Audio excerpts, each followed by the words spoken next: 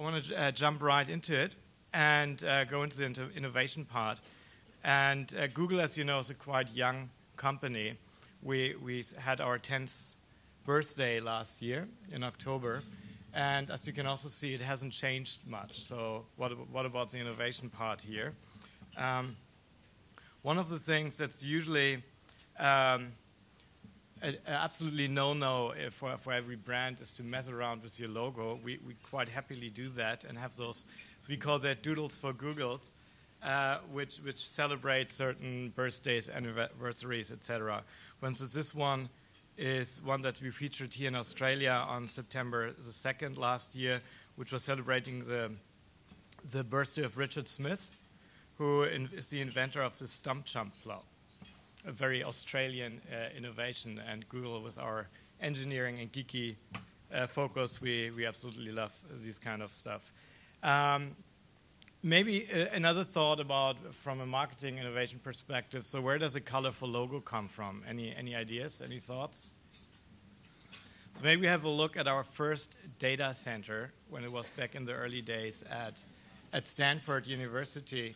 And so, so the racks of those self-built servers were basically kept together by those Legos, and they later gave the inspiration to, uh, to, to, to the logo and everything else, all our branding.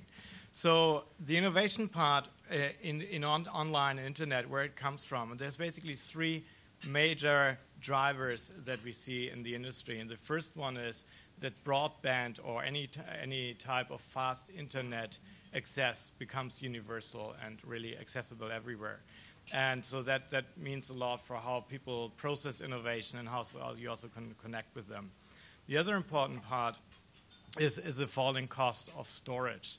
And so, so you all have probably heard of Moore's Law, how every 15 to 18 months the, processor speed for computers uh, doubled and, and the cost more or less half uh, which gives you uh, totally new new possibilities to do.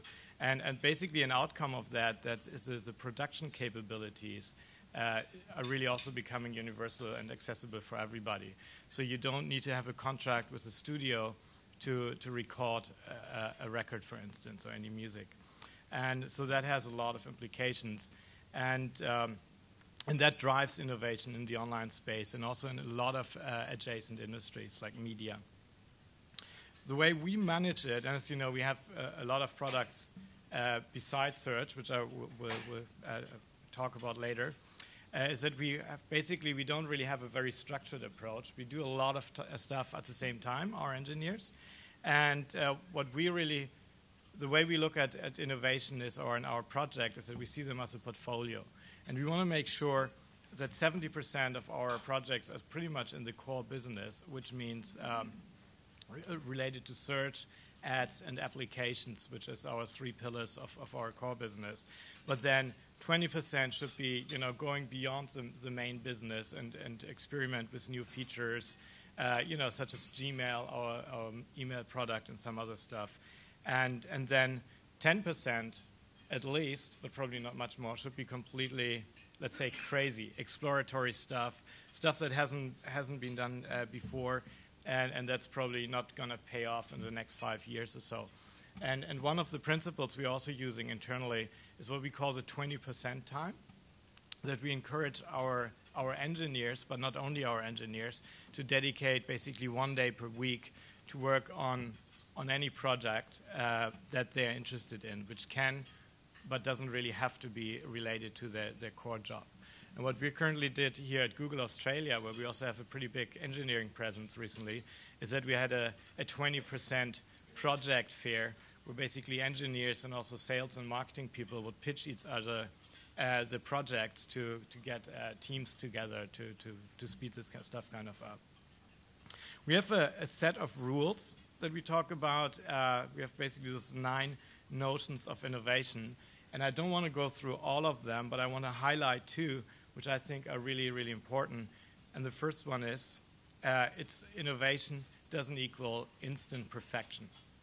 And that's probably also one of the, you know, it's a difference whether uh, you, you, you create a free internet service over, you know, making a car or a financial service or creating anything that's probably, you know, should be more perf- perfect. So we put a lot of our stuff out in beta and then are waiting uh, for the feedback of, of the users, what they like, uh, what they dislike, uh, what to change. And not only the feedback that they solicit in, you know, mailing back or leaving comments, but basically mostly by by measuring what they do. So, so user feedback is mostly measured by the clicks. What do they use? What do they don't use? We do a lot of A/B testing or regional testing or 5% testing, uh, where you just push out uh, some features to only a fraction of our users and then see how that impacts their behavior. And if that's good, then, then we do more of that. And if not, then we change it.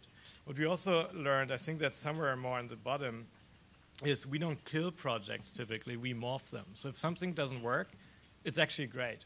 And uh, from what I understand, is it also applies to, to a lot of uh, you know, online marketing matrix. So some companies who do a lot of email marketing, their most important matrix should actually be the unsubscribe list, because if you, somebody unsubscribes after getting your email for a while, you, you did something wrong, and you should better learn from that. And, and from a website, it's probably the bounce rate, which is a really good, well measurable, and very important metric. And so the second one I want to highlight here is that ideas really can come from everywhere, and that's why we have this 20% uh, stuff, and, and, and a lot of uh, you know innovation comes from clients, from users, from partners, and it's very important to be open and, and have a have a process to get that back into your your, your company. So the results is, as you probably, most of you know, I guess everybody's using search and at least one or two different products. Maps, for instance, which was uh, actually originally created also in Australia. It's an Australian invention, which we're very proud of as office here. But so most of our products originally were about uh, searching and finding information wherever it is in the internet. And, and we found so there's a lot of more information than just on websites. So, for instance, in Gmail, in pictures, in videos, in books. So, we're scanning books at a, at a significant scale and making the content available. But then other, other areas are not only about finding information, but also about creating and posting information. So, we have a lot of tools there. And more importantly, for sharing information, because that's really what we find out what makes uh, info much more useful and that's where all those collaborative and social media features come up, like, like Twitter and, and many others. Um, so, so, what's our favorite part of innovation? And, and a couple of examples I want to go to. And that's probably quite, quite uh, maybe surprising for some of you guys. So, where we think we can actually still add the most to have the most exciting innovations are actually around search it's, uh, we, we see search still as a very, very young uh, industry, a, a, very young product, and, and there's a lot of value we can still add to make search results better, about uh, making it more personalized, uh, making it really more useful. And as easy as, as it looks on the surface, making this easy is actually an extremely complicated process. And we have about, I think, more than 12,000 uh, computer scientists uh, around the world uh, who basically work on, on algorithms to, to make them better. It's a very complex uh, process. Uh, one, of, one of the features we launched in the mid last year is what we call universal search. So basically, like in this example, uh, a, a, search for Steve Jobs, the CEO of Apple, doesn't only give you web results, but it also gives you a list of uh, video results. It's uh, Steve's famous Stanford commencement speech. Uh, it gives you news results. It could give you uh, fina- financial results, news archives, images, etc., etc., etc. And that was actually a major and, and actually also much debated process internally because originally, as you might remember, there was a video search, there was a news search, you know, and we still have that. But then we basically merged it all in one. So you, you see from the different categories uh, results on the same page. The question is does it always make sense to show pictures on, on, for instance, a commercial query for somebody searching for a cheap airfare or something like that? Absolutely not. Uh, but that's really how we also use algorithms to see when does it make sense.